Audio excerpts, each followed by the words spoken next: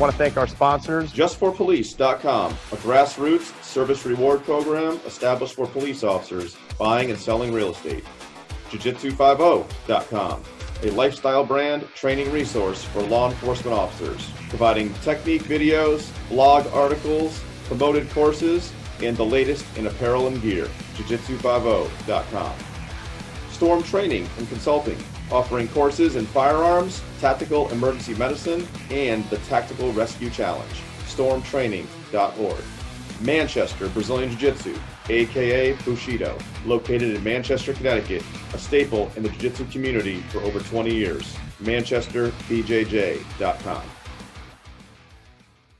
We got episode 16 of the Code Podcast. My buddy Rich McKeegan, aka the Scarecrow, and our good friend Luigi Mondelli, American Top Team, Kore Bushido, Danbury, Connecticut. How you doing, sir? I'm very good and uh, very happy to see your faces here.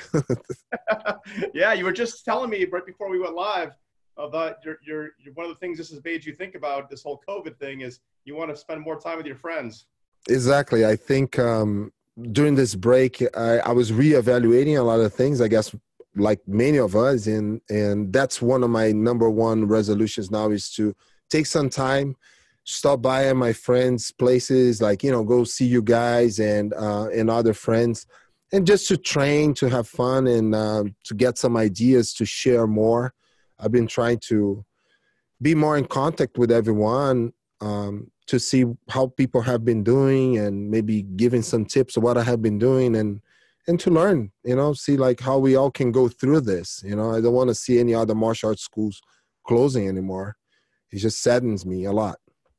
Yeah i know. It's it's really tough and you know rich and i talk about it every day and it's just uh, you know you know we're concerned uh, as probably you are that once this all gets back to back to normal as possible uh, that they don't start with the whole second wave stuff you know this fall and put us back into the same position we're in now um, I was I just I just saw a post that Trump said that he won't do he won't uh, do any lockdowns anymore, or you know I guess they're gonna take a different approach, and especially because now they might know better how to handle this, and we just need to take the politics out of the health issues, and and that's the biggest problem that I saw, and not just here. Honestly, if you guys think that's just here, because I follow the Brazilian news too exactly the same as, but it's exactly the same things. Mm-hmm. Um, That's this, one thing I wanted to ask you. Really, you know, very is um, you obviously you came from Brazil. You lived yep. in, in that country, and you, from my understanding of conversations with you in the past, one of the reasons you left is just the direction that everything was going there. Um, is that true? Absolutely. So uh, Brazil has a long history of. Let's put this way first. So if, if um, just interrupt me if I get too long with this explanation. Uh, Brazil has one of the biggest economies in the world, right? But at the same time, one of the biggest Gini coefficient, which is the coefficient that defines a inequality in a specific demographic, right? So everywhere in Brazil, from micro to macro, we see a huge disparity when it comes to equality. And Brazil was a very prosperous country uh, especially Second World War, after the Second World War, because we were neutral. And actually, we were supplying a lot of uh, the materials that, for, for instance, like Brazil supply, supplied a lot of the rubber using in the U.S. Uh, military, you know, uh, structure, infrastructure. Uh, Brazil was supplying a lot of um, commodities to the rest of the world. When when the Second World War ended, and the whole communism um, started in the Soviet Union, Brazil became a, a really strong target uh, to the communist countries, to Soviet Union, pretty much, right? So same thing that we saw in Cuba. We saw an attempt to have that implemented in Brazil. The biggest problem is Brazil has, I think, is the fifth biggest country in the world, uh, area size, if I'm not wrong, six or uh, fifth or sixth in the proximity with North America, even though like we're in a different hemisphere, but imagine like the size and logistically, Brazil would be like perfect situation for Russia to be right there, right, right under the United States. Imagine that they, they try to get the missiles in Cuba. They if they have put in the north of Brazil, they will have reached here like easy. as well. So Brazil went through a lot of, um, and still goes through a lot of this influence from socialism, as it is, not social projects, which is a whole different thing. Heavy socialist, uh, leaning really towards more communist communism, and because of those things, uh, in 1964, the military, they say with the help of the CIA, had really good intel as far as like um, the revolution that was brewing to make Brazil become a communist country. And in '64, the military took over. So they did a um, what do they call it? A coup. Um, I think that's the word, right? Yes, a coup. And yeah, so and people say that was a dictatorship, but actually wasn't a whole dictatorship because the military would assign a new president every four years that would be pretty much a general um, or high patent um, someone from the army or the army forces they shut down the congress and the supreme court in the beginning because everything was corrupted but later on they reopened the congress and the congress would vote and on the next maybe president until brazil in 82 or 86 reopened to become a full democracy again. But all the, the institutions were very already um, indoctrinated with the socialism, um, heavy influence in an educational system, and etc. So, long story short, Brazil is highly socialized. Let's say, I don't know if that's the word or socialist. Um, super heavy taxation but I mean, like, if I we can do a whole podcast about just taxation and um, heavy in protecting the la- or the labor laws there are insane and don't promote um, the growth of the country because it's really hard to have employees there. It's extremely expensive, and all these things contribute in uh, having a very it's a country that is really hard to start something from scratch like here in the united states. You know i always say that i came here with a thousand dollars in my pocket that everything that i had. First week i was working um, in multiple jobs. Fast forward 17 years later have my business uh, you know 200 plus students and making my living so in resume uh, summary here i can say that at least like still when I came here, we could build a life and live the American dream. You know. When did That's you come here? 2003. 2003. And when did yeah. you open your academy?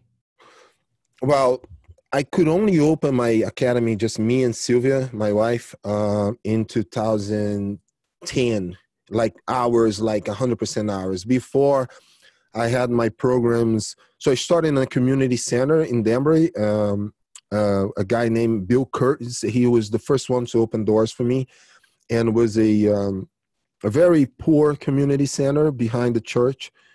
I was there for a year, and then a friend of mine and one of my students hooked me up with the Newtown Park Rex. So I was teaching at the Newtown Park, uh, Newtown High School at night for maybe uh, a year and a half, and then I started subleasing a karate place here in Danbury. and I was there until 2010 or end of 2010, beginning of 2011.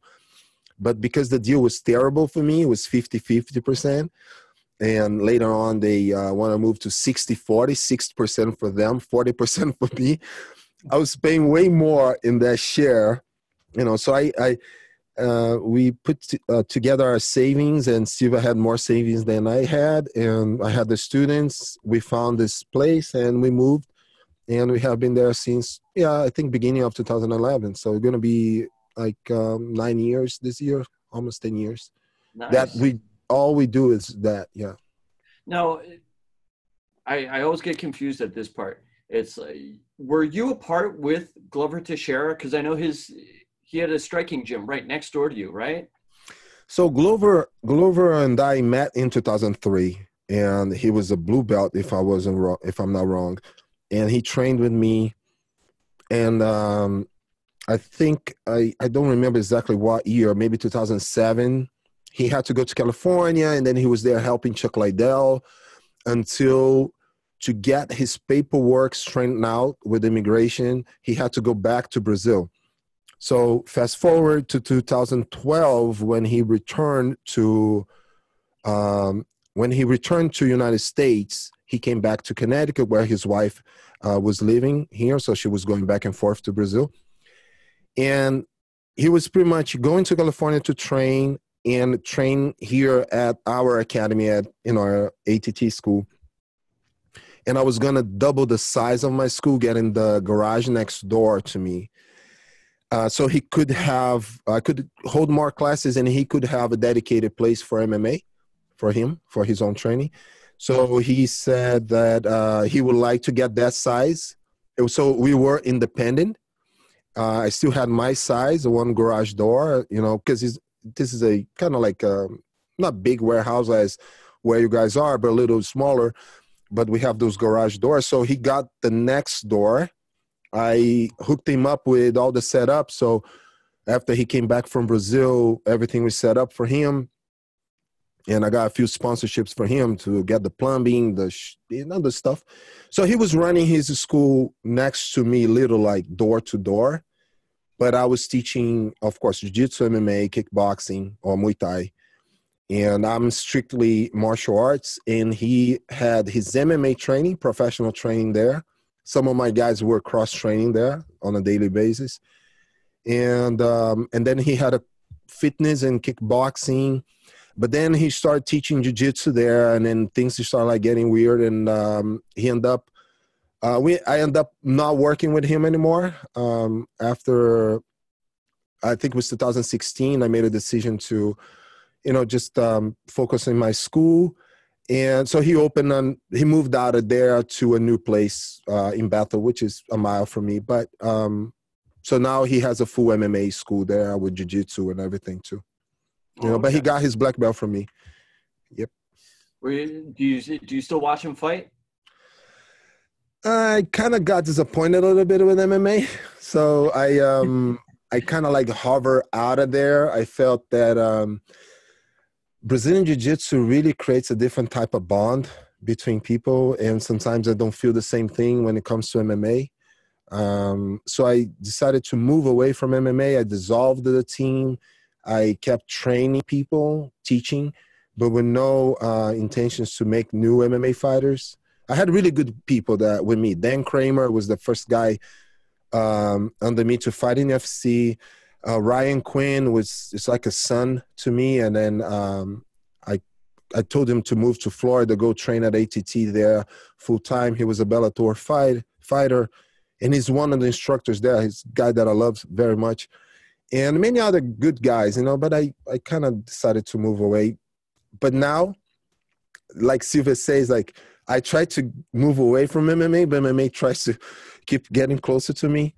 Um, some new kids and good people uh, have been asking me to get them ready, you know. So I'll see how I can, how far I can get them until I tell them to go somewhere else. If I cannot, you know, keep helping, but so I might start training people again professionally. you know. Now you're under eight uh, American Top Team, right? Yeah. so yeah, so uh, um, uh, my first coach, uh, my first team in Brazil, we were under Carlson Gracie, and um, after, of course, they split. We, my my head coach there from the team moved to another state.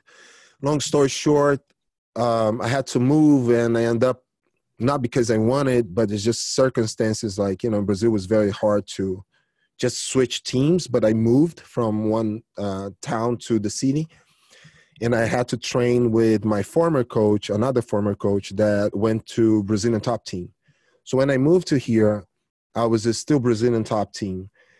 And Liborio, that was one of the co-founders of American Top Team, invited me to be um, to represent ATT here in Connecticut. And so that was since 2004 and they granted me with a f- lifetime license so i don't have to you know pay any uh, franchise fees or anything like that but also i do my best to promote as much as i can att and all my fighters always fought for american top team and so and I, and actually we were the first att school out of the headquarters to put a someone in in UFC.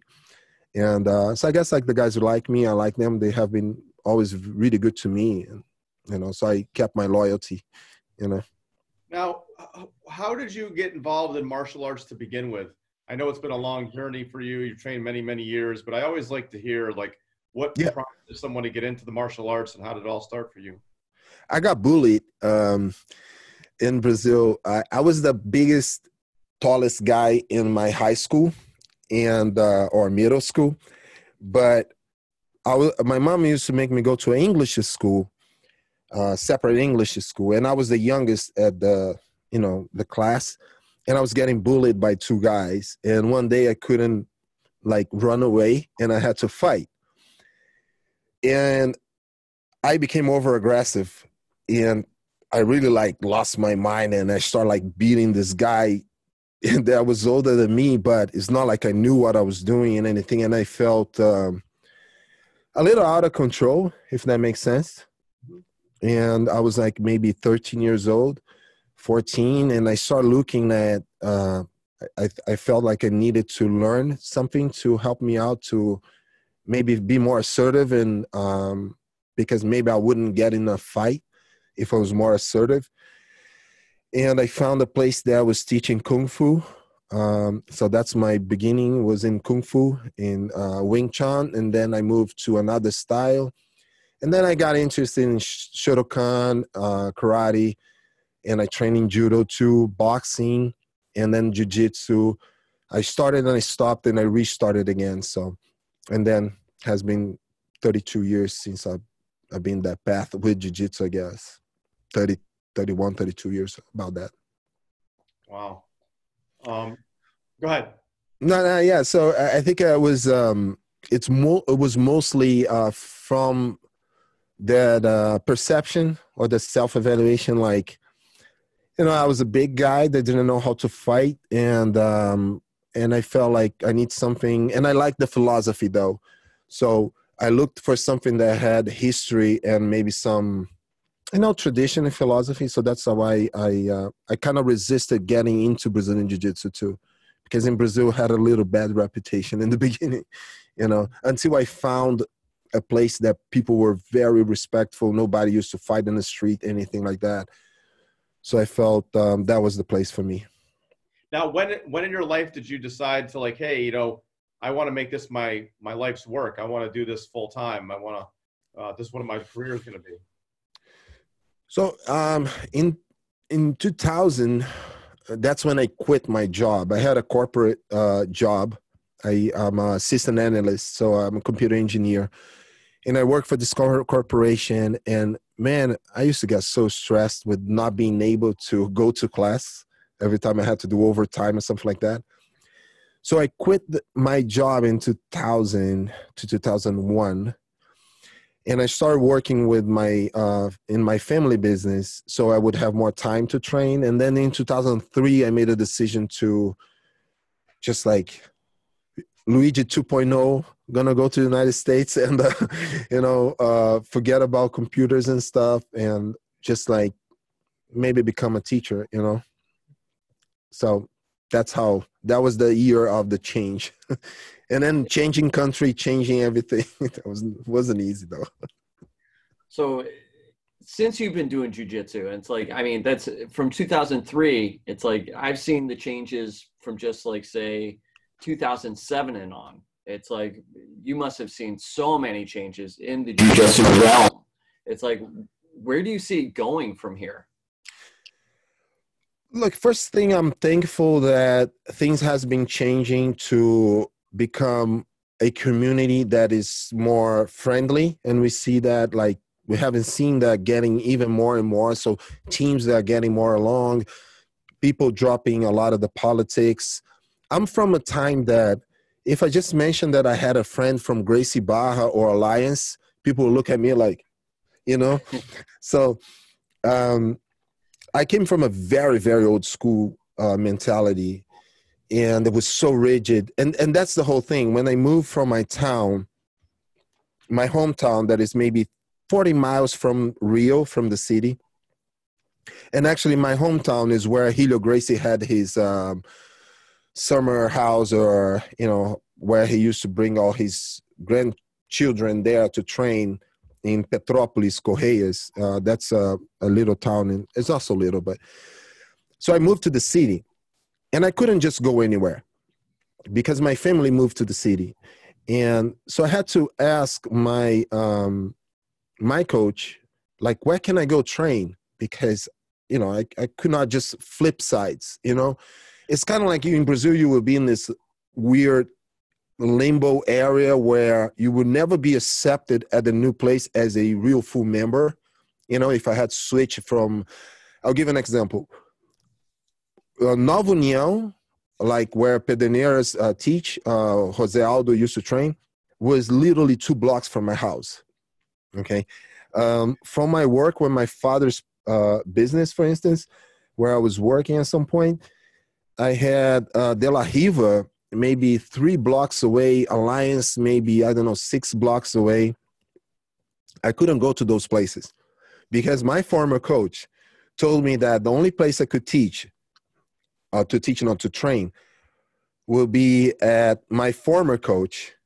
Um, and I had to cross, imagine like you're going from lower Manhattan to Harlem during rush time every day you know? So it would take me like one and a half hour to cross the city to go train where i was allowed to. So i could be accepted at my old team on the weekends you know? And uh, and then there the new place i would be welcome as you know a regular member and they welcome me uh, welcome me very well um, but those are the things that for instance thank God doesn't happen anymore. If I have a student that lives in Manchester, right, closer to you guys, I'll be the first one to say, like, you guys go, gotta train with Rich and Rob, and that's the place to go. Back then, wasn't like that, you know, because you still have no rivalry, but it was that competition team mentality. So thank God things changed where you can do host for for instance the black belt for butterflies right you can have like people from so many different teams and help different causes you know the mission 22 and uh, we defy and all of those things and girls with grips and all these initiatives i think i believe that we will see more and more often and people getting closer and closer. And the teachers that bash other teachers and other teams we're going to see them maybe fade away and get isolated you know? So i feel like that's the future of jiu-jitsu. People will the community has to get stronger.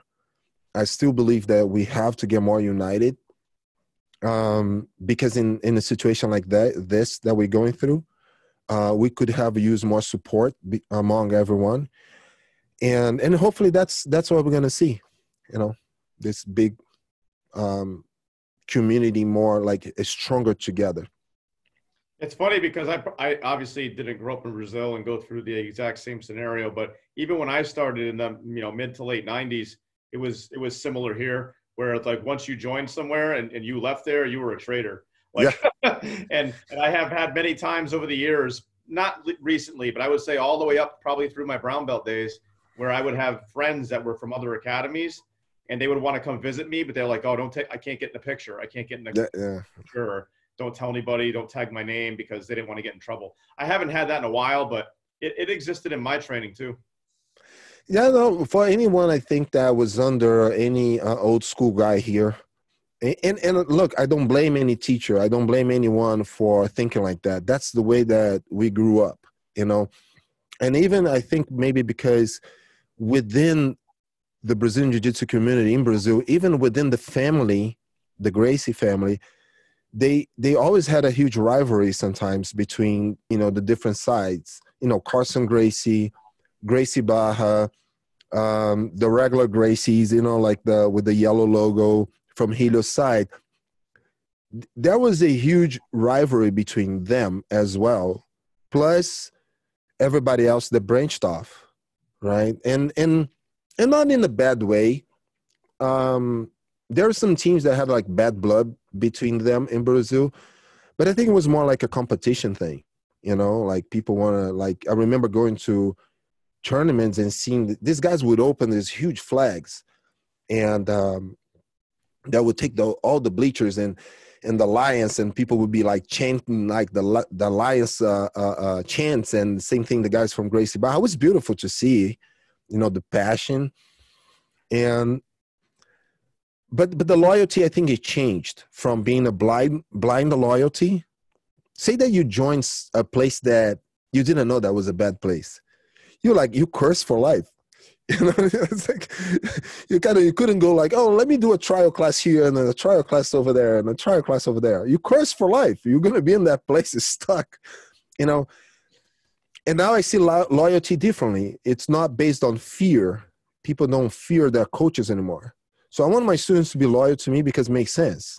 You know, because we are trying to do everything for them. And look, maybe my character is not like what they are looking for and then they can go someplace else and there's no hard feelings you know what i mean? Like so it's it's different uh, nowadays. I think the loyalty changed. It makes more sense now. Yeah. My coach always at the beginning when i you know i've been with him for well over 10 years now pedro sauer was has never once told me not to go train somewhere else. He in fact he encourages us. He's like whenever you travel whenever you go somewhere bring your gi. If you see a school stop in train. You know he, he uh, wants us to do that no, it's awesome. I used to travel a lot for work in in Brazil, um, almost every other week, and I could only go train in another sanctioned place. You know, and I need to make sure that w- was within that bloodline. And even though I would still be a target, you know, like that's the visitor. You just like go kill them, you know. So I'm like, mm. and, and don't get me wrong, I had a bad maybe not bad, but if a visitor came, not that I want to beat anyone or that I want to go like crazy, but because I was competitive, I became competitive. I would be next to my coach, like, can I go with that guy? Can I go with that guy? You know, and then sometimes my former coach would just look at me like, okay, Luigi, go, you know. So, uh, but it was kind of like same feeling as going to a competition you know, just like you test yourself. And sometimes I will have my ass handled to me, so I just think, you know, whatever. Hard to believe a guy like you getting your ass handed to you because. Oh no, that the size doesn't matter. it's just like, you know. Do you think that this is uh, the reason that the change is an Americanization of jujitsu, or do you think it's the technological advancement of like social media with the YouTube videos that there's like there's no secrets anymore. Everything's being put out there. So there's no real reason to sit there and tell your students only train here. You don't want to train anywhere else. I think it's a mix of both. Um, I think in the United States, uh, we learned how to run a martial arts school better because the United States had a better tradition in uh, with the taekwondo places, with the karate places. So the business model, even though we don't follow completely, right? But I think it was here was way more professional and this is a really good thing. And uh, we saw the biggest, I guess, like you said, is so right after YouTube. And look, I remember honestly, I would go to tournaments to watch. Sometimes I get one of those VHS C uh, cameras, sometimes even those big ones, and hide all the way back and record, so I could study things afterwards. You know, they are like, oh, let me record. I hope nobody sees this. You know, and um, but nowadays, like, mm, there's no secrets anymore. You know, omoplata is omoplata everywhere. A single leg X is a single leg X anywhere. Sometimes people come up with new things and it's new until it's out there on YouTube. Somebody recorded and they make a DVD. So I think it's a mix between technology and the proper way to run a martial art business, and which is a good thing. You know, we saw some schools getting more too commercial and that's not a good thing. And i felt like i feel like now people are realizing that it's important to keep some tradition as far as maybe the retain uh, how how long people should stay in each belt. Um, but at the same time we have to modernize as well. And i think that one thing rich uh, i think that now after this covid-19 outbreak you are, going back to your first question I see many schools now adopting things and keeping for the future. I'll give you a quick example.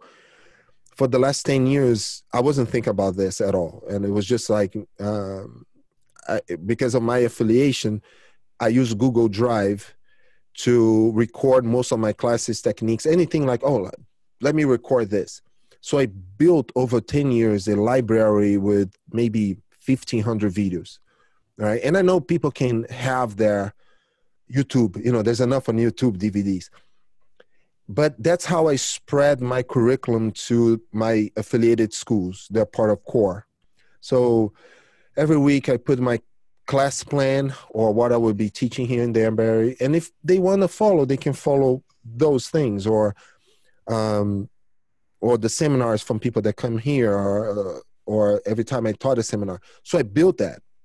Man, this this thing became so handy now because I adopted uh, Google Classroom, same thing that the kids use in school, and I just share so assignments and material from my Google drive library to my students. And um, so every other day i've been teaching online classes.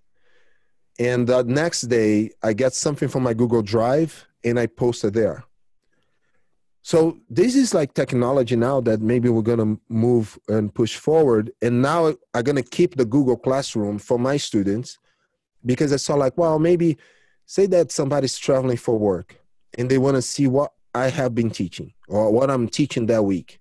If they cannot show up, they can have access to the Google Classroom and see my assignments or the material that I'm sharing. So I'm going to keep that. And I also going to keep the Zoom classes or the new thing on Facebook uh, where somebody that is traveling can watch a whole day at American Top Team. You know, I had to buy web cameras and a new computer, so I might as well just keep using, you know? So I think we're going to see some techno- technological progression in our methodologies, maybe, you know? That's, a, that's actually a really good idea. Um, now, you mentioned COVID, and I got to ask you, we're approaching that June 20th date that the uh, governor of Connecticut has stated that um, as, as long as this first phase goes okay, we'll be able to, as you know, we're all classified as gyms, which you know, I have a problem with all of us being classified as a gym. But anyway, we're classified as gyms, and that's the date we're supposed to open. How do you? What do you feel um, in your mind you're going to do uh, as that becomes closer? I know they haven't even released what the uh, regulations are going to be. I guess two weeks beforehand they're going to release them. But what are you planning? Do you have an, uh, a plan for that, or we? I, it's still unfolding. No, I, I came up with a five phase plan that already um, shared with my students. I, I'm, I'm more than happy to share with everyone because, again, um, my goal is to see all the martial arts schools striving and even my competitor, my competition next door. You know, I don't care. I, I want to see everybody doing well. So I came up with my own guidelines and um, that uh, some things that I uh, the guys some guys from Shoyoroll uh, shared with me when we had an online meeting, and some other friends too. I could go over everything with you guys if you guys want to. Um, I know that we had talked earlier this week about it, and you were pretty excited about it. You said you wouldn't mind sharing it with us, so I figured. Yeah. So uh, one, we we will request our students to sign new waivers and contracts because I'm gonna put a clause where I would like it's not tracing at all. I don't want to trace anyone. I don't want to do any spying, but uh, will be part of the agreement between the school and the stu- uh, the school and the students that I would like to be informed if they get in contact. Say somebody in their house have COVID. So I would like to be informed because I might ask that students to wait two weeks before coming back to the school. You know, so that's one of the things. So it's not a tracing thing; it's for my own database. Huh? It's 100% precaution. Yes. Um, so in the beginning of phase one, the students will have to schedule and reserve uh, their participation in each class. So the software company that we work with, um, they they came up with this routine so people can go online. Okay, I'm going to the 4:30 class or the 5:30 class, so I can keep a, a cap I'm, I'm, uh, all students cur- current and new will have to acknowledge having watched the Welcome to ATTCT video, health and safety guidelines. So I'm just going to have a whole video explaining uh, everything that we do here to clean our school and what, how they should, you know, uh, say act. Uh, so okay, so the video will provide instructions and inform our students about all of our new procedures, how they should monitor their health, um, educate them how to properly clean their uh, and wash their uniforms and equipment. Kind of silly stuff, but you know, um, to avoid coming to any class at any sign of possible symptoms of a common cold and flu. And we're gonna test uh, the students with a um, got one of those. I'm getting another thermometer.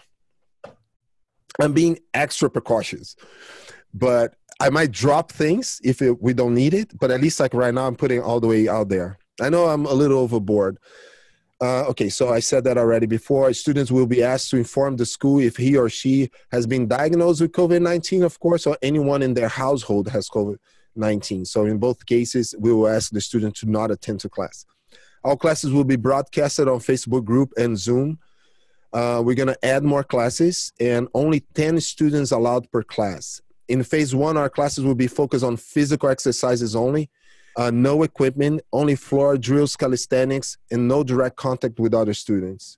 So it will be pretty much a fitness gym, um, you know, and not a martial arts school in, in phase one, unless they tell us that we can have some sort of contact. But this is my prediction how we will have to open you know? So in the beginning um um marking squares in on the mats you know keeping the social distancing. People have to come in one at a time. And um let me see here. The students will be they will have to help me cleaning um any equipment and um, whatever you know in their areas we're gonna um, students might have to spray their hands and feet with disinfectant solution upon entering mats. So I, I increased the number of this alcohol dispensers, and um, I have been using another disinfectant that is uh, not too harsh, so it's more natural. Um, the guy actually that came to sell was, was funny. He he walked in trying to sell this thing, and he pretty much poured on his hand, and he he kind of like licked and then swallowed disinfectant. Then he poured on the on the mats and he scrubbed it. And it was like, oh my God, this thing like really cleaned the mats. And my mats are pretty clean. I'm like, wow. he goes, don't worry, I've been doing this for 20 years. I'm like, okay, I trust you now. uh, we will limit the use of the locker rooms and ask students to change as quick as possible. If possible, we will request the students to come already dressed up, if possible. No one will be allowed to hang out in the gym. We're going to have a lot of signs and instructions all over the gym. And I bought a industrial size uh, three stage air filter that has uh, one of the stages is activated carbon filter that will be running on stop. So there's another pre filter and a HEPA filter that will run 24 7. Um, I have two commercial size ozone, ozone generators. Um, that's pretty much four times the recommendation for my size of the gym and I will run them um, in the afternoon before the classes, and at night it will run overnight, and also we will they will run over the weekend. So once I close Saturday, those ozone generators are going to keep running until um, um, Monday. On phase two, I'm going to keep the limit of 10 students. We will keep the same guidelines as phase one. On phase two, um, we're going to start using more equipments. And phase two might take just like a week or half a week. It depends of how this whole thing will go. Um, we're going to form groups of two or three people. So say that if i have a class with 10 i might have small cluster of people that will be mostly training among them only throughout the weeks. So say that okay the group are going to be rich luigi and rob. So we're going to try to keep the same little three um, group of three or or pairs at least like during the phase two. Phase three the size of these groups will expand. So i'm limiting the cross training among team members if it makes sense. Phase four so we're going to keep the phase one two and three and stu- students will be able to cross train with anyone within the group of 10 because it's I'm limiting 10 per class. And uh, phase five, um, we will cut back the extra classes and we will return to our pre COVID 19. and I sent this to my students like, we are back to the old normal. I'm refusing to say new normal. just like old normal.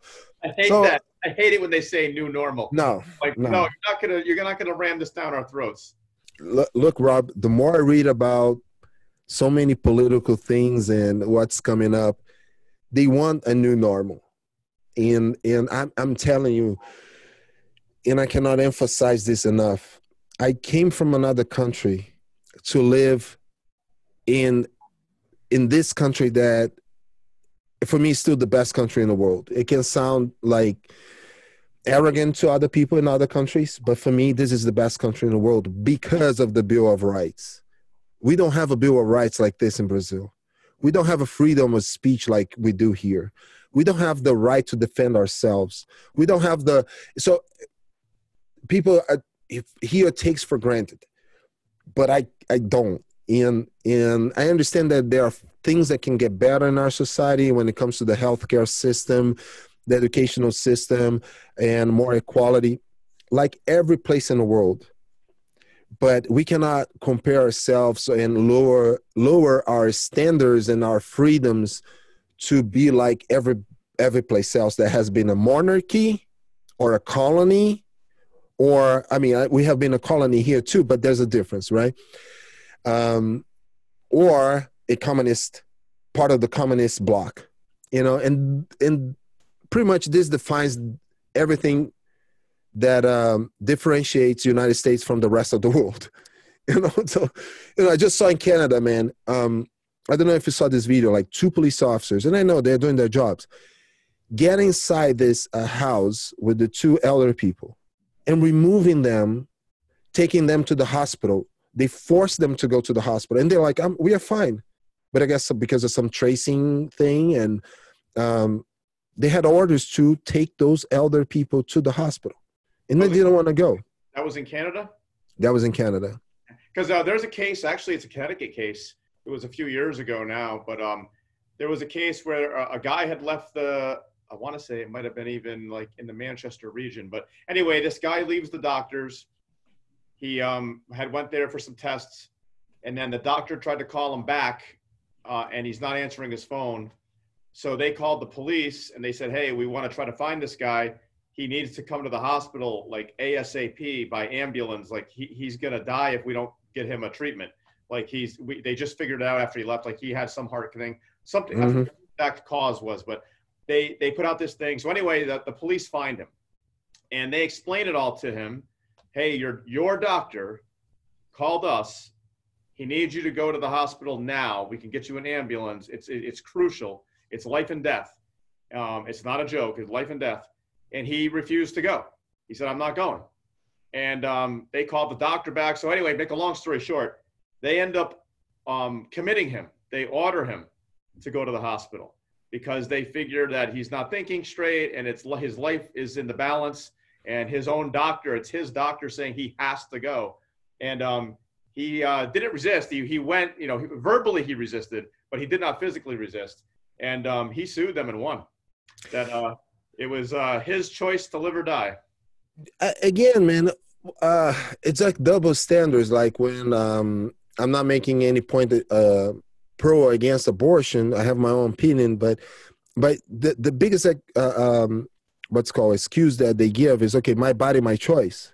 So in that case, if you know you're gonna die, maybe you have cancer, but you don't want to go through chemo because some people make that choice. They don't want to. They don't want to go through chemo. There was a girl here. She was 17 years old, and I guess like she uh, she was forced to by um, the child service or whatever you know department the parents were forced to uh, get her in the chemo treatment the girl didn't want it she was 17 years old and and i'm not saying the chemo it's it's not good but some people don't want to go through that you know and and you choose how you want to die it's just pretty much you know i want to choose like maybe i don't want to go through the suffering of maybe you know I don't know. It's just I wouldn't I, I wouldn't want to. You know, I know that if I had cancer, I'm not gonna do. I'm not gonna have any chemo. I know. You know what I mean? I that would be my choice. You know, I'd rather like. I've dealt with. I don't even know how many suicides. Dozens and dozens and dozens I've had to, to deal with, and uh, over the years, and it's not illegal. Not illegal to kill yourself. Exactly. like it isn't. I mean, how can you stop someone from committing suicide? You know, like sooner or later, which is a major mental health issue. Um, in in we have to be compassionate with someone that uh, commits suicide. I see many people saying like, "Oh, those people are selfish." No, they're not. They're like sick, and and sometimes life is just too hard for them. I'm not, you know, advocating for suiciding at all. You never know um, battling. Yeah, exactly, man. It's just like you know, for some people, life is just too hard, and the brain is is damaged um, in a way that for them, I don't know. It's just they don't think like we do. They don't have the same cognition as we do. Um, but but I've been around people with depression, and I have friends that have lost uh, loved ones to suicide, and it's not. It's hard, but it's something that it, it's hard to really um, come to um, you know to judge anyone that committed suicide or something I'm like that. sure you've had this since this uh, closer, but I've had multiple students text me um, since this COVID shutdown saying, I got to get back to training. Like I need it for my mental health. Like I, I, is there any way I can train or come to your house or something? Like I've had uh, at least five or six. Look, Rob, um, you just touched the point that I'm so passionate about because what I never knew in my life as a coach is that jiu-jitsu could help so many different people that are going through such a hardships you know like in life as a uh, you know with depression anxiety. And as soon as i had my first case of someone with terrible ptsd a friend that couldn't get out of the house if it was dark uh, couldn't be around kids because where he was in war he saw many dead children and we saw how jiu-jitsu changed him you know? And then after that people with drug addiction look i'm not a mental health professional. Um, i've been trying to learn as much as i can. I, I have been devouring everything i can in psychology and psychiatry and, and that's maybe a dream maybe one day to go to school to learn more because i take interest in in in just trying to understand people. But man um, we realized that jiu-jitsu is almost magical you know? I, I don't know how to explain. Um, the brotherhood i was talking to one of my students who's a state trooper today and um, he came to the school we were talking a little bit and uh, he he's he was saying like he he's realizing that more than the physical exercise he misses a lot just the the being around the guys that are in the same mission and i have students going through depression like you said. Um, and that's why i started like recording some things on my youtube channel. Not that, not that i'm trying to be a youtuber or anything like that just because i had extra time and i had to put this mic to work the camera to work. I'm like god just let me try to learn this thing. But many of the things i recorded uh, were based on people that reached out to me to ask luigi I had one guy, man. He joined us uh, two months ago. I mean, two months before we closed, and he was bat- battling anxiety really bad, and he he's he has been missing like crazy. So he asked me. He keeps sending me emails and uh, keeping him on the loop. And he asked me like, uh, "Could you talk about uh, some things like are we our own enemies and I guess like some internal struggle that he has probably like trying to fight his own depression anxiety. I'm like, I don't have those answers, man. You know, I can only share what I know, you know, and in, in, my biggest advice is like anyone that really needs should go uh, see a professional, a mental health professional, but I'll be here and I will be your friend and I will listen to you and I will train you in jujitsu and I'll give you my opinion. You know, so I guess like we shift our mission sometimes. And I feel like it's sometimes it's more than teaching a berimbolo. oh, it's still, you know. This afternoon, my I have three boys, and my middle guy's like 13, going on 14. You know, right in the middle of puberty, and he, you know, he has his, you know, moments where he's, you know, miserable and stuff because of it. Yeah. And um, he he was, you know, in a real mood today. And I'm like, hey, let's go hit the mats. And he's like, oh, I don't want to. So I got him out there for an hour. We threw our mats down outside, and I trained with him. And he came in the house, and he was laughing. And my wife's like, wow, what a difference. Look, uh, I'm sorry interrupting you. So uh, at some point in my life, I had a really bad anxiety, when I got divorced and I, you know, not seeing my daughters all the time and, and I end up quitting my job. And anyway, I, I had a start having like anxiety uh, attacks, you know, like almost panic attacks. And I couldn't understand, you know, being a big guy and a, a kind of alpha male, all of a sudden, like I'm feeling like, you know, long story short, I decided to do therapy. And I always mention this in my podcast and everywhere I can because I believe in norm, normalizing what other men feels, right? Uh, especially men, you know, in this situation. And I'll go over that in the future. But she got so interested in Brazilian Jiu Jitsu, my therapist, my psychoanalyst, uh, analyst, you know, psychologist. And because I would talk so much about Jiu Jitsu, you know, like I hated everything I was going through, but I loved Jiu Jitsu. But one day, even Jiu Jitsu was too much for me, and I wanted to quit. And I was underperforming, I was too competitive. And she started like researching more.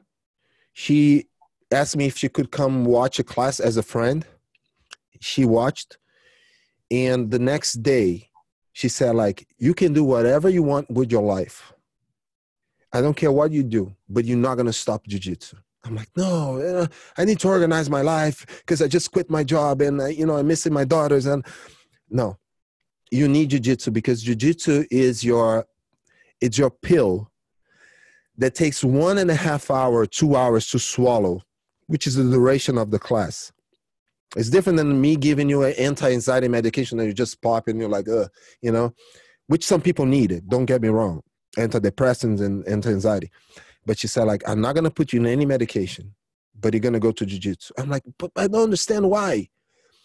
And she was saying about, she started explaining to me the effects on your serotonin mechanism and your endorphins and, and how it affects your dopamine uh, you know, release and absorption, and especially the thing that stuck to my mind, Rob and Rich, is because like, don't you see like what you guys go through every time you're doing that rolling thing?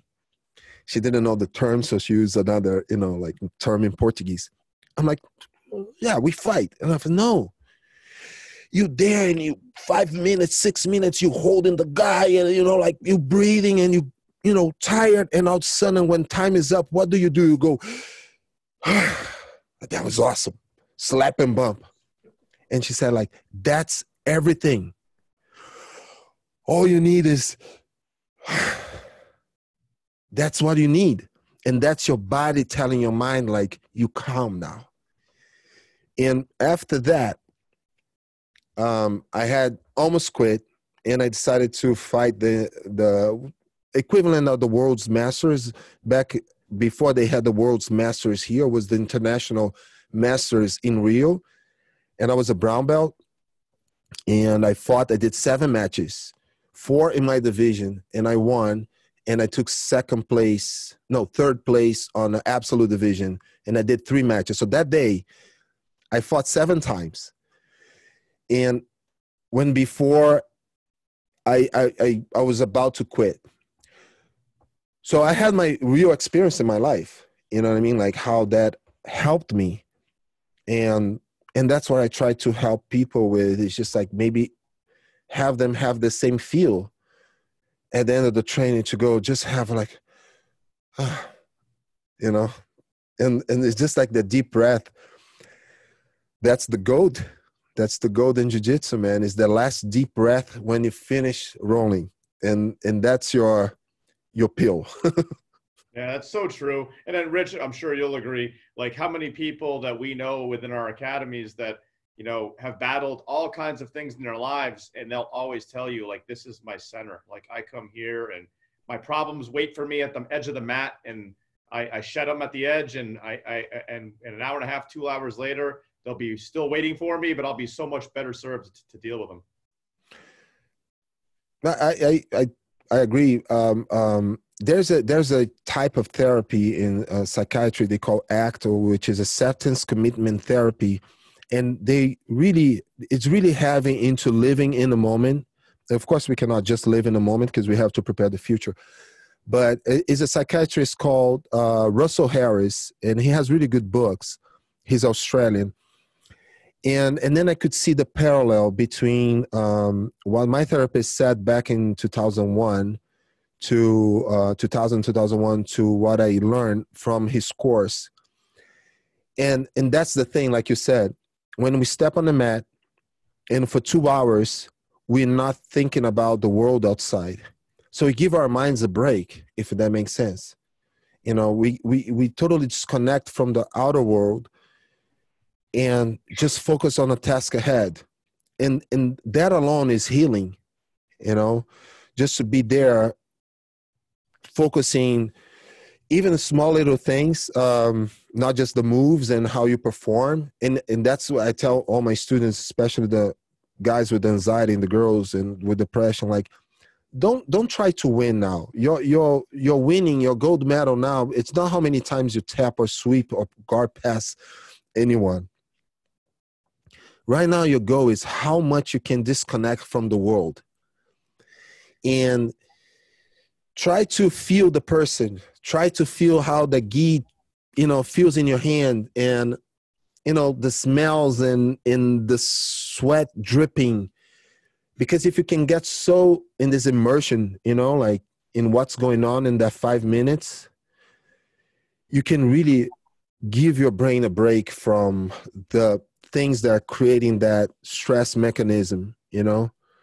And we need those breaks because if we don't take those breaks it all leads to depression um, anxiety uh, uh, disorders in and even like more serious situations i guess you know i'm again i'm not a mental health person it's just it's my own experience and what i try to promote to people i guess no i agree 100% it's funny because uh, this is one of the reasons I, I am so I get so uh, irritated when they classify us as a gym uh, in the state of Connecticut, you know, and, and, across the country. You know, martial arts schools kind of fall under gyms.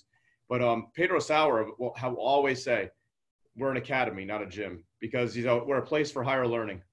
It's, yeah. You know, you can go to the gym and run the treadmill, lift weights. That's a gym. You can play, play basketball in a gym. That's a gym. Here, it's you know you're learning something that is you know mind, body, spirit. is totally, totally uh, more than that you know, and um, I know at least in my career, you know, 20 plus years in law enforcement, you know, and it really took me, I retired from my first career 20 years and then I still work um, in a smaller town, but, uh, you know, part-time, but it wasn't until I really retired from that job that I uh, was able to slow back a little. And that was good in some sense, but bad in others, because now I had time to sit and think of all the things I'd seen and done and the, you know, fatal car accidents and murders and suicides and domestic violence and you know kids abused and everything else and that's when it your mind starts going and if it wasn't for jiu-jitsu i mean i would be a, a mess all the time you know? So it really does uh, uh, give you like you said you know it gives you a, an outlet. But but so just just look at your school you know? You have you helping many other law enforcement people um, to have that relief. And you have rich for instance imagine like for a parent that maybe have a, an autistic kid or somebody in the family that is autistic right and now you're in a place that promotes autism awareness. And i'm not saying this to you know uh, just to be flattering but but that's the truth. It's just um, I, I always remember one quote from my kung fu teacher. And he used to say that to be a martial artist is to serve your community either teaching them how to defend themselves or to do uh, organize soup kitchens or food drives or anything that you can help people to become uh, better people, right? To go through life better. And I remember him because it wasn't a martial arts school at all, actually. It was a very different setup. And that stuck to me until I felt how Jiu Jitsu could help me and then when i realized i could help other people so imagine like how much you help law enforcement people that you guys see horrible things you see the worst in humanity you know for the most part. And and that's a side that many people don't see it because they rather of course it can be traumatic to realize that the world is not a safe place right? And at the same time again um, when you guys hold the uh, host the black belt for butterflies when you have 100 plus people on the same mats with 20 black belts in the same mission that nobody's there to win medals but what is the big biggest score is to get those 100 people more conscious and knowledgeable about autism and how we cannot maybe i remember uh, pat uh, forgot his name uh, Italian name, 10th Planet guy in Fairfield. Sorry, Pat. You know, he's a great guy. Um, like, what's uh, Caninola? I, I forgot his last name. But Pat talking about his kid. And he, Campanola. Campanola, yes. Uh, he's really good friends with Travis from 10th Planet Fairfield, too. And, you know, like one of those things, like from hearing everybody testimonials.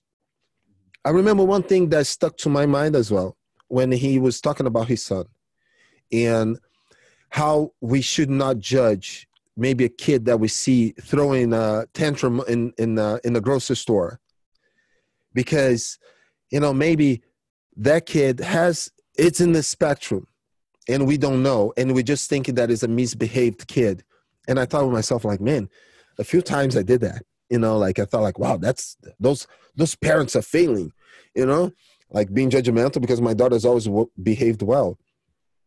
But then when he said that, I'm like, wow, I never thought about that. You know what I mean? And and Rich, Definitely this has been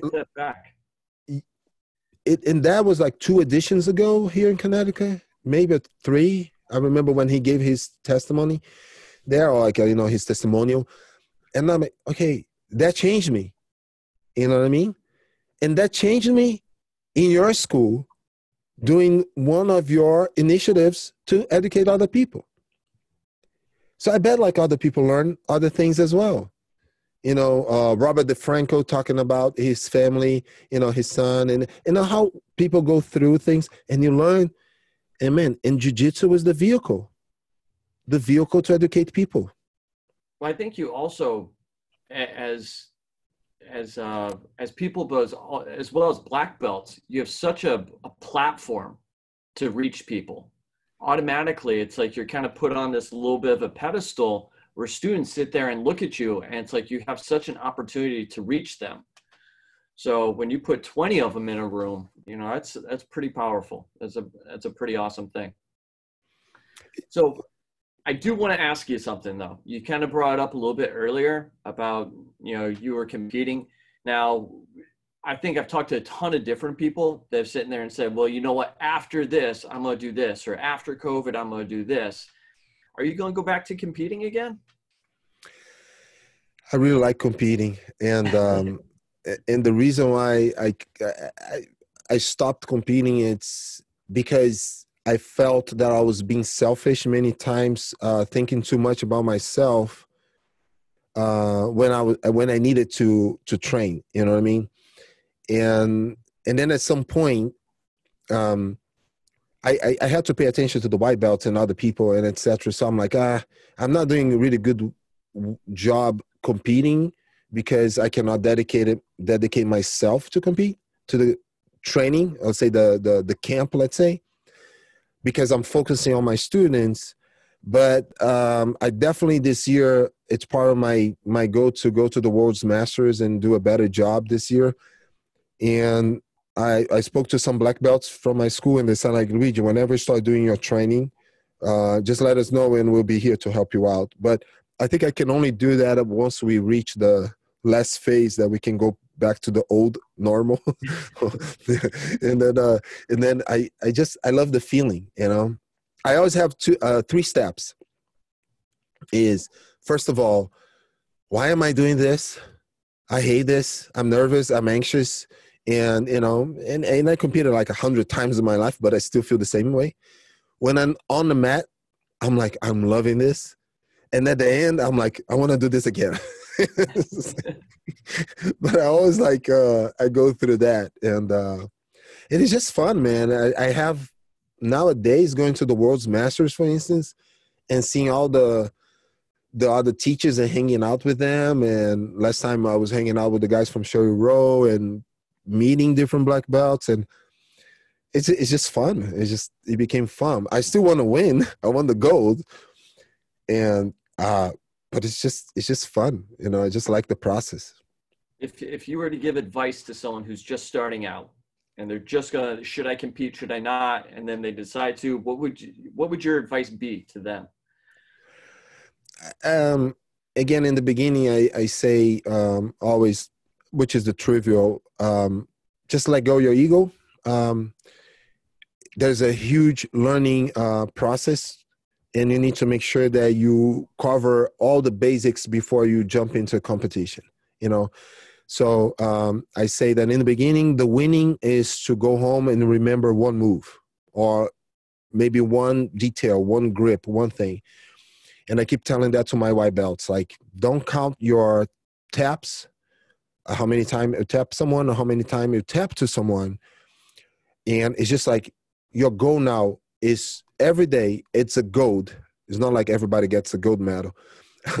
Uh, but it's every day your gold is if you can remember something and you can write down something. And so i tell my students always have a journal. Um, for years i had books and books of notes. Have your journal. Um, feel free to ask me things. Number two once you're ready and your coach tell you they're ready make sure that you cover the basics so you have a few sweeps, a few guard passes, and etc. And then after that, I think every good coach will normalize what your students could be feeling, you know. And that's I think uh, having competed a lot, it helps me to have more compassion towards my students when they say like i'm too nervous. My hands are too cold. You know i want to go pee. I want to go poop. You know i'm like hey don't worry. I feel the same way you know? And then the people look at you like like you said oh if the black belt feels like that, it's okay if I feel like that too. So that's what it is. You know, put the time and have the, dedication and create short-term goals, mid-term goals, and long-term goals. I had a, friend of mine that we just actually had on the show, Chris Bumgardner. He's a, also a Pedro Sauer black belt. He has a school down in Delaware. He says that um, he feels more pressure when he competes now as as a as a coach than he did coming up the ranks because he, he's like terrible, and he's a and he's a cop, so he's like he's been in life and death situations, but he's like, listen, uh, when I go out there to compete now as a head coach of my academy, I have way more pressure on me than I ever did as a student. So I had to go through this process too, because first I was fighting to not disappoint my students, you know, and um, so I'm like, I hope I don't disappoint my students and in, in a few times when i lost i felt like ah, i let people down. But i changed and i worked that within myself. So if i could give an advice to any other black belt i would say uh, so first of all first of all it's like make sure that you're not neglecting your students um, and being selfish because you want to be a competitor and a teacher.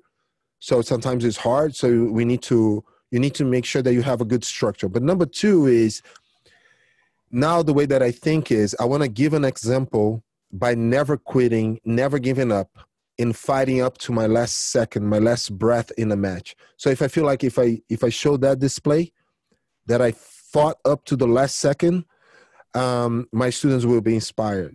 You know, regardless of the result. Yeah, that's great. You know, it's funny uh, you talk about inspiration. The the whole reason this podcast exists right now uh, here on the Code with Rich and I is uh, because of you, really. Oh, really? you invited me. Uh, well, both of us at one point were on your podcast, I believe. But you had me on uh, your Fight Team podcast. We talked about uh, self-defense and you know for police and stuff like that. And it was after that podcast when you shared that I got a lot of emails and messages from people. They're like, "Man, you got to do a podcast because that was great." And um and and for the longest time, I kept kind of putting it off. And then I did another one with George Law, and it just kind of and Rich had done a bunch with Black Belts for Butterflies and before we know, it's kind of like we started talking and we're like, you know what? Maybe we should do this. And it really started to do. So thank you. No, I think it's awesome because actually that episode is one of the episodes that I had the most views or actually listeners. Uh, I don't know how you posted, but when I go to, I use Libsyn, uh, Libsyn, uh, Liberated Syndication, I guess that's the name of the, the software that distributes. And that episode is still one of the, if not the number one, um, I'm gonna double check and I'll let you know. But we had a tons of listeners. Views on Facebook, we don't on YouTube because sometimes people don't sit to watch for one hour or so. But listeners, because we are everywhere too, uh, man, it was like it took off. That was pretty cool.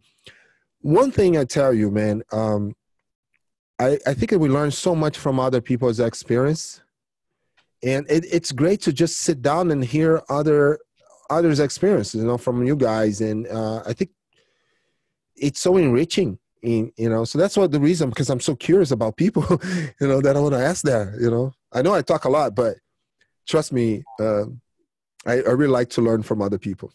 I know you do and that's not for our listeners and viewers uh, out there that is not a bullshit statement because you are what a fourth degree black belt multiple time world champion and you have registered to come to some of my classes and classes that uh, you know have been put on by you know other instructors that are well below your rank. And, and you will go out there as a student and and you're happy to do it which is pretty pretty amazing. Uh, honestly man I, I think like we learn from everyone. You know I, I remember like one time i went to your school and rich was working his close guard game. And uh, he you were showing me like some setups of things you were doing, and and Rich was a brown belt and purple belt, or no, I think you were a brown belt, and I'm like, well, that's pretty cool. You know what I mean? So I think, especially in jiu-jitsu, because people have different takes, we learn from everyone, and and that's one of the reasons that um, maybe I separated from uh, not my first coach because that's um, I never left him, but I, I never enjoyed when people make less of other schools or teachers or players you know uh, because at the end of the day i think like everyone has something to teach one you know what i mean it's a different style or a different game and so maybe because back then coaches were afraid of losing students so they didn't want students to look outside but when I started like going more outside, I started seeing seeing that. I remember training first time with Lucas Lepre in New York at uh, Fabio Clemente's place, and he had just maybe he was a new white uh, black belt. He was a new black belt, and dude, like I learned so much from him, you know. And then I guess that's what makes people. My mom always said like every wise man, not that I'm wise, but every wise man knows that he doesn't know everything or something like that. Translating from Portuguese and, and, and I think that's that's the whole thing. You know, I don't want people to see me as a oh he's a fourth degree black belt so he should know more. No, sometimes people do more research than I do. you know, they try different things than I do. You know who always impressed me with that kind of a, uh, a mindset, and they're actually a student of yours, Dennis Hill. Oh, Dennis, Dennis Hill is very much like you're describing. I'm fortunate to be around many guys in my association that they are masters or grandmasters in other styles, and that inspired me to to pursue the same thing. So who who have you not trained with that you'd love to go out and train with? That I never trained with? Yes. Um, let me think Is there here. Anyone out there that I would love to learn from? um you know i was always curious about maybe um feeling and i know that he will kick my ass but like say Buchecha, um i i competed against roger gracie so i know the, the feeling and the pressure and the accuracy. Uh so i was it's not that i would like to challenge them at all. Um not nothing like that not on those lines. Um but it's just because i like their style you know. I've I seen Rodolfo Vieira training and competing many times, but I, I didn't have the chance to train with him. I would love to also train with him, just because you watch and see how they do so many great things. Um, and then of course I'm talking about the the newer guys, you know. But I would love to be able to learn from Pedro, and, and unfortunately, like my agenda didn't really like uh, um, matched uh, from Pedro Sauer because that was always somebody that always growing up in jiu-jitsu we those are the guys that I would be looking for VHS. You know, Pedro was one, so you're lucky. Um, I've seen um, Macarrão, Marcio Stambowsky from Gracie Sports. So I went to visit him a few times and and I rode with him and dude, like he's no joke, you know, and uh and I, of course huh? hands are huge the hands, legs, arms, and everything, you know. But he's an amazing guy, and he has a really uh, unique style. Um, that eh, people that I never had a chance because of teams thing. I always like Royler Gracie uh, style, Royler. Uh, so I wish I had a chance to learn a little bit from him as well. I mean, there's so many people. it's just like I can go on and on, you know. Fabio Gurgel. Um, oh, there's so many people. All right, you got one. One? Just one. the, the hard- number one. That's a hard question for anybody. no, I wouldn't put you on the spot for that. That's too tough. It's, it, That's You way know, too you know who I was totally impressed with? It is part of your associate, well, part of American Top Team is uh, Renato Tavares. oh, yeah. I trained with him. I was like blown out, blown, blown away. Just blown And- away. Renato, it, two guys that I really like because they're small and they're so freaking accurate. One is Renato Tavares and Parrumpa, Marcos da Mata Parrumpinha is like, uh, he always cornering the ATT guys. But Renato fixed my guard game in a tournament, coaching me when he didn't have to coach me. And um, I was fighting a huge guy, really, really strong, and I was having a hard time keeping him in my guard. And Renato was outside, and he said a couple things that fixed my crossed open guard game, and I never forgot.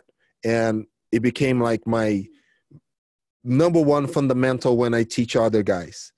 And that was from him yelling uh, for me, you know, in the corner, like Luigi, keep your toes on the guy's hip and blah, blah, blah, and a few things. And that little tweak and adjustment changed my game from a tournament in Florida in 2011. I rolled with him when Rich brought when Rich brought him up for uh, Black Belts for Butterflies, and I just couldn't. I mean, I could do nothing to him. Absolutely nothing. he was laughing the whole time. It was pretty amazing, actually, to roll with someone like that.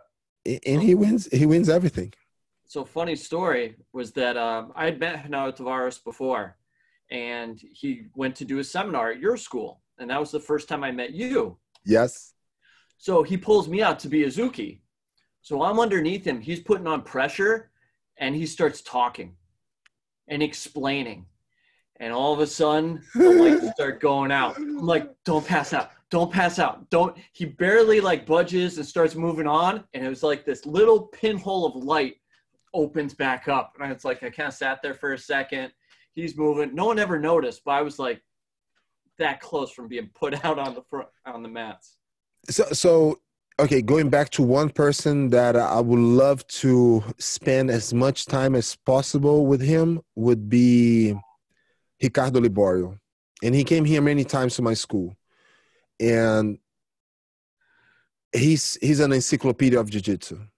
He is simply ridiculous.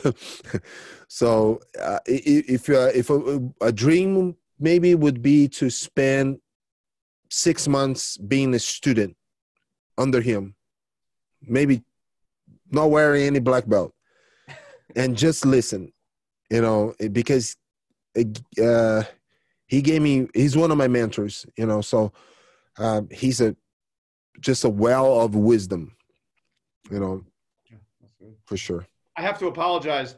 I, I think I said I uh, said you were a fourth degree, but you're a fifth degree black belt now. You got promoted this year, correct? Yeah, I got promoted this year, but the right time would be at the end of the year. Um, but my first coach, Buddha, that is like my brother, um, he he promoted me a little bit earlier, uh, at the end of last year, but would be at the end of this year when we redid the calculation. So I'm not really like promoting him as a fifth degree. I'm like, ah, I'll keep a fourth until like is the right time. You know what I mean? But I think um, would be like September this year. That's when I'm like, okay, you know. But he put it on my waist, and uh, that's fine. You know, That's I love him. He's a good guy. The, when you, I still look down at my own my black belt. Rich and I talk about this. I'll look down sometimes, and I've had my black belt now, you know, going on nine years. And I'll look down, I'll- and for a second, I'm like, "Oh, whose is that? Oh, that's mine." You know, it must be something to see those five stripes across it. It, it just goes by so quick, man. It just goes by. When I I actually um trying to make a compilation of pictures since I moved to here, and looking at my first black belt with no stripes to getting one stripe and pictures with two stripes, and I'm like, where this 17 years, you know, went? It's just like crazy, you know. But I'm feeling good. I'm feeling young.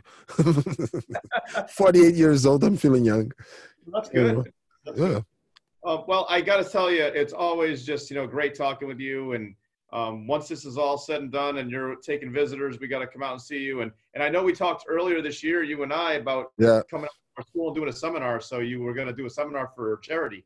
So I will be always my pleasure. I, I think it's I love I love doing especially char, uh, charity thing, and again, like I want to have more interaction between our teams, and uh, and I want to I want to have you guys in my podcast again.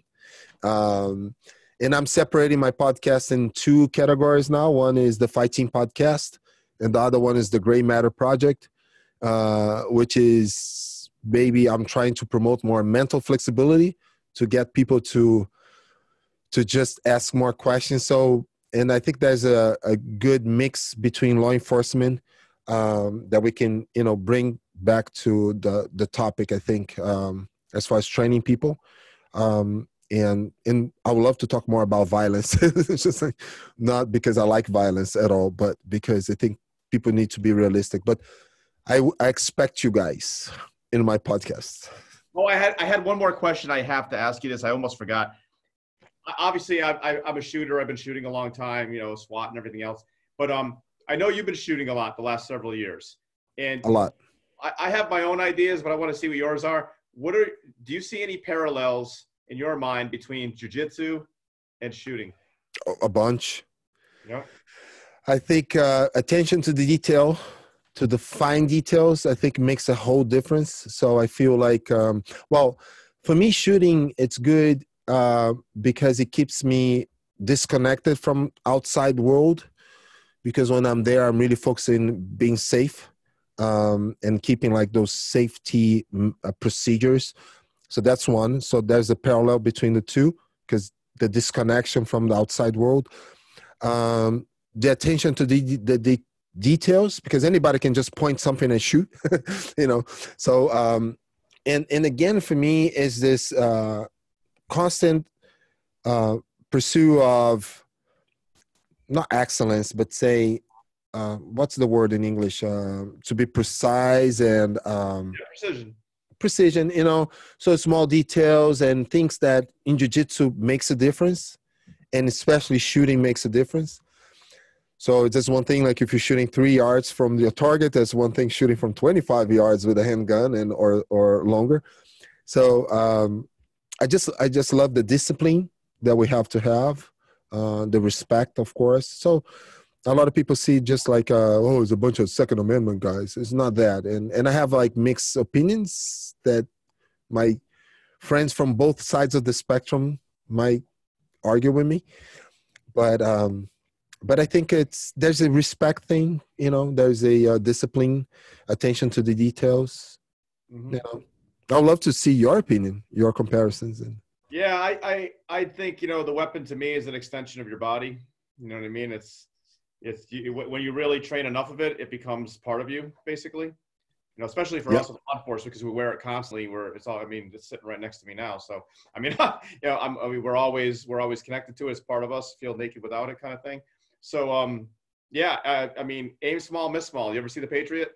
yeah yeah yeah yeah absolutely yeah I think the greatest the greatest uh you know line in the movie is like aim Yeah. small, small. But that that that constant, like you said, you cannot be uh, sidetracked with anything else. You have to be total focus, much like rolling. When you're Yeah. rolling, you can't be texting or checking your Instagram page, or you have to be focused, or you're gonna get choked. You're gonna get your arms, focus yeah you're gonna get your knee busted. And obviously, in shooting, it even ups the odds way beyond that because you make one mistake and you can shoot somebody in the, in the line or yourself or and, and it gets even more so in, instead of just dead targets when you start shooting you know um, you know live shoot houses and you know you know clearing corners and rooms and up going up stairwells and you know and then you go over to like simunitions and you got force on force people you know op force shooting back at you. And you know that's where that becomes almost like live rolling training where, where you can do stuff like that. And that's So- where the, the, the connection. So before I forget, uh, you said that I inspired you with the podcast, but also you guys inspired me to get more connected with the law enforcement and train more of my students and learn more uh, when it comes to firearms, so I could be a better self-defense coach. So you, you, because I believe that what you do, and I'm again, I'm not being flattering here at all because I don't like that. The truth is, you have a realistic um, approach to that training, uh, combatives training for law enforcement. And when I I learned self defense, right, jiu-jitsu self defense, and all of that, and through these other things, but then I wasn't feeling confident about teaching self defense and mentioning things that I wasn't really being proficient at. So that's why I tried to become really good, uh, knowledgeable person in firearms. So I could then, only then, start a combatives self defense class like you know you guys offer and i still need to go to the lockup uh, training i couldn't go with dave again or but i'd love to cross train and do some type of trainings like that. So that's a, a, path that my my team has been going towards to that pretty much is mimicking what Bushido Jiu Jitsu has been doing as well. Not to compete with you guys in any way, but it's just because I feel like I wanted my students to be just very very safe. So you know what I mean. So my um, if it's just very quick here, I'm not gonna expand on this. I always loved guns, but I was extremely against guns and I thought that banning guns would be the answer until they banned guns in Brazil and violence tripled. And I came here and I could not understand the Second Amendment. And until I got a good explanation. And then everything shifted in my mind. You know, and and it comes with the realism and being realistic and not pessimist. And then I felt like, well, being realistic and being prepared makes me optimist you know? And and that's my model now when i'm teaching the guys. Um, so i tell them like learn be be proficient in everything. And i'm trying to be proficient with knives. I'm you know carry my knives i carry my gun and carry everything i love what you said which is an extension of your body you know and god put me in contact with really good people like you guys and uh, and one of my mentors now who, which is bill rapier is one of my best friends now, who is a black belt in jiu-jitsu, um, high level in Muay Thai, 20 year Navy SEAL, and he was part of you know the top SEAL teams there. And I have been training with him every time he comes here, and then I host his training here. And I'm like, dude, like it's awesome to see the how they incorporate the combatives with the knives, with the you know shooting from retention, jiu-jitsu, clinching, control. And i'm like this is beautiful. That's how i always dreamed you know? And then uh and that's the path now you know? Yeah any of those any of those types of people uh, at least the ones i've trained with over the years I, we refer to them as generalists versus a specialist because you know like a, a brazilian jiu-jitsu black belt competitor is a specialist at that one thing right the guys mm-hmm. you're mentioning they can speak languages they can do you know medical tr- medical uh, almost operations on the damn battlefield if they're hurt. You know, they have firearm skills, tactic skills. They can parachute. They can scuba dive. I mean, they have so many skill sets. They're not just a one-trick pony. They're literally. Uh, but we've had people come to the school, and and some of our guys have rolled with them, especially at the SWAT Challenge, and they'll say later, "Oh, I rolled with that Army Ranger, or that I rolled with that Navy SEAL. I thought they'd be a harder, you know, to tap." And I'm like, dude, they're in your world on the mat for five minutes. Go in their world and put their kit on, jump out of a plane and and you know and, and end up you know going through the door with under a live fire. You would be lost. Yep. You lost. You have no idea what they know. it's just, it's just, it's scary. I want to go one real quick thing about the Second Amendment. You know, I have a family member. I won't call them out entirely right here, but total, you know, kind of liberal and you know was always against guns and all that kind of stuff. When this whole COVID thing hit, they called me on the phone and they're like, "Oh, I'm feeling really vulnerable. How can I go get a firearm now?" And I'm like, "You can't. you're not going to just get one. You have to go through a process." And they really believe like you could, like the news media will make you think, "Oh, you could just run down to some." You know, gun show and buy whatever you want and come a back. Full auto. I'm like, no, it's not like that here. So and they were they're feeling vulnerable. They don't have anything to protect themselves. And when we started getting these, you know, weird things happening and people fighting over toilet paper and everything, they started to feel like, well, what happens if this starts to collapse and someone tries to break in my house? Now they're starting to feel scared. This is a very complex uh, subject because um, like I said, here, at least for example, I live in Bethel. So Bethel has almost same Gini coefficient, meaning that people, it's pretty equal here, right? Uh, and so that's why it's a pretty peaceful uh, region. Same thing with Ridgefield or Newtown. People are so stuck in their bubble. And, and the reason why, so let me just very quick here the reason I, I loved guns and I, I had subscription for gun uh, of gun gun magazines in Brazil and I used to draw guns and I loved it. But my father got kidnapped in Brazil. We had six business invasions, uh, two home invasions. My sister had a gun pointed to her head. They stole her car, and on and on and on. So I start blaming guns because I'm like, how come United States and, and all the other countries allow these illegal guns? And I'm thinking like, okay, let's ban the guns and the problem will be solved. But matter of fact, it never got solved. And the number of homicides in Brazil kept growing, right? So they banned guns in 2006 and the number of homicides keep growing. When you talk to a liberal, uh, these activists, they say like, oh, but the the population is because of the growth of the population, which is not true because you ban all the guns, you know, or it's because of the drug cartels and okay, and then there's a whole different discussion.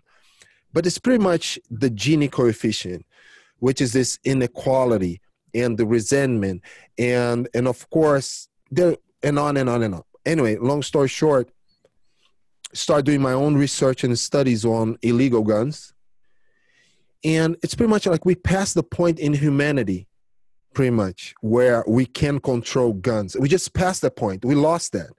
We should have controlled guns before as soon as they invented the the the, the gunpowder black powder uh, uh, uh, gunpowder how's it called? Black powder right? Um, yep gunpowder. Yeah.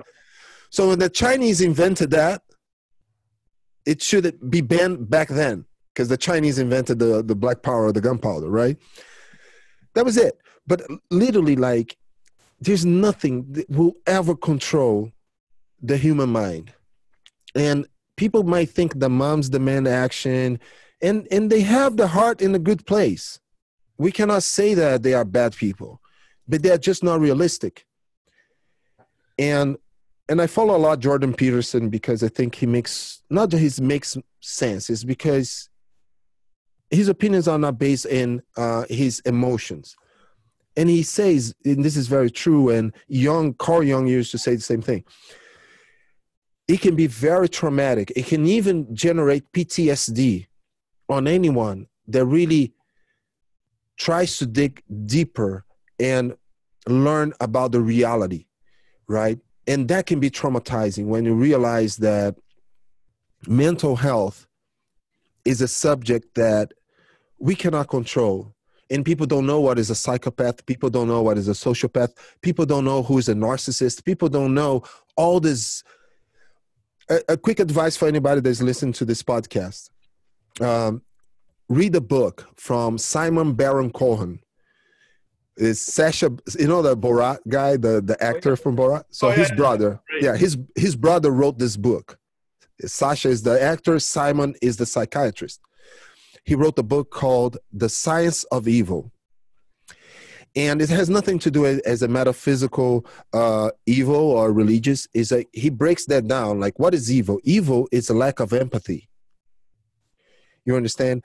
So he describes the mechanisms in your brain where there's a malfunction that interferes with your empathy mechanism and for many different reasons. It can be sometimes an accident that uh, affects the area. It could be a, mal- a malformation during your your your development. It could be, and and then he explains the difference between a psychopath and a sociopath. Like a psychopath is somebody born a psychopath, right? And somebody that could just so, psychopaths are the people that pass the lie detectors, right? And and same thing, some sociopaths as well, because for them there's no emotion in what they did. So you don't have those variations in reactions in the body.